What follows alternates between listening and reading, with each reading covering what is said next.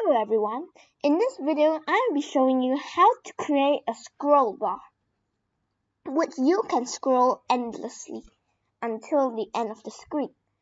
So what I want to do is now here I have this costume and I have two costumes in it. I have the back of the scroll bar and the front of the scroll bar.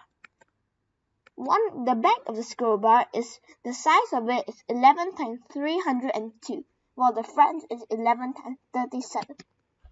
Okay, now let's get going.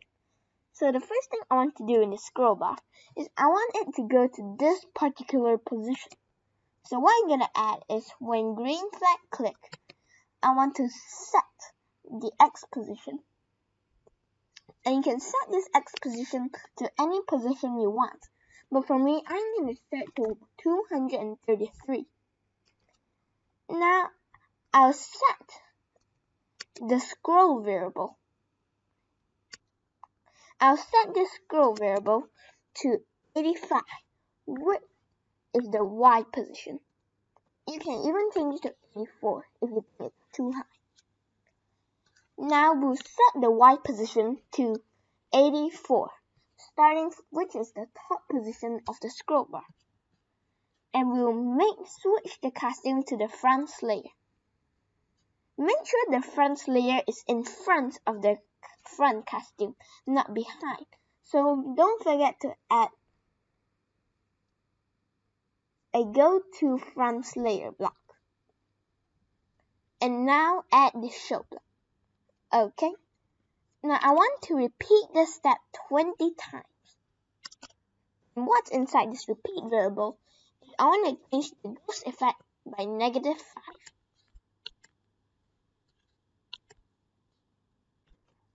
Okay, this will make the scroll bar a bit brighter.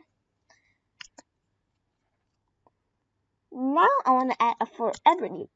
And in this forever loop, I'm going to add a wait until block. I want to wait until we click it. And at the same time we drag it.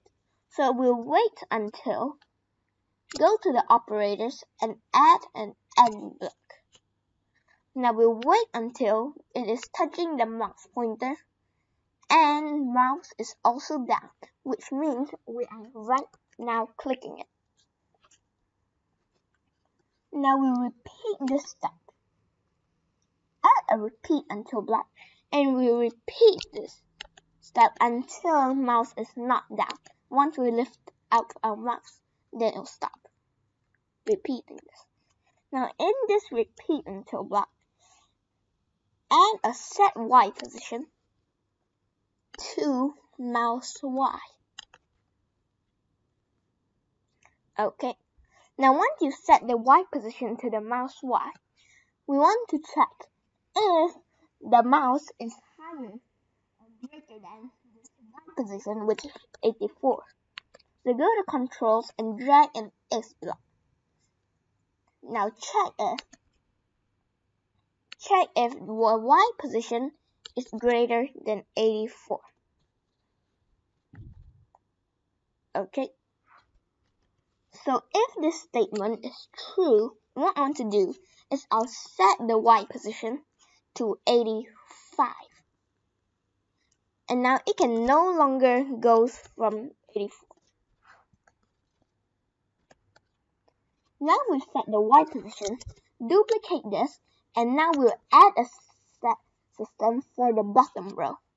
So for me, I'll make if the bottom row is somewhere about here.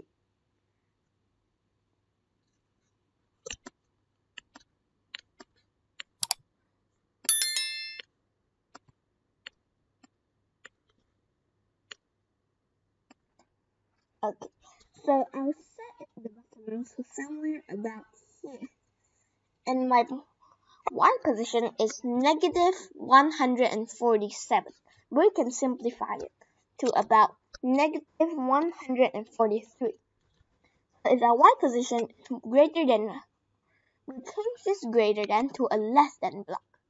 So if our y position is less than 143, negative 143, Then we will set the Y position to negative 143. We can also set the top one to 84 if you like. Okay, now last of all, we will set the scroll variable to Y position. This will help us in our next shop casting. And in this shop casting, I have designed many shops. Okay. So now let's test out a code to see if this works. So once I've started this code, you can see the scroll bar will be in a perfectly right position. And we can hold it and scroll down. Now we know that this scroll bar actually works.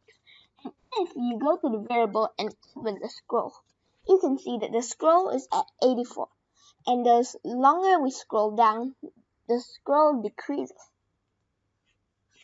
And that's it for today's video. In the next video, I'll be showing you how to add shots to your scroll bar.